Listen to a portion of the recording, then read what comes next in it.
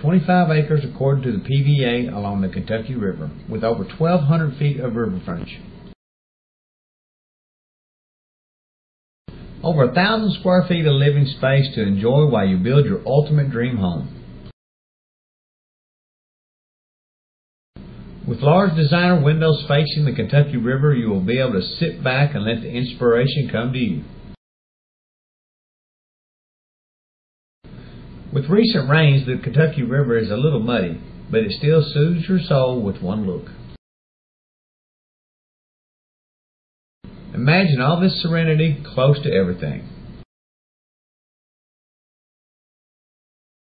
Start developing your own subdivision with all vicinity amenities. You have Kentucky Utilities Electric, Columbia Natural Gas, City Water and Sewer, and also to mention high speed internet.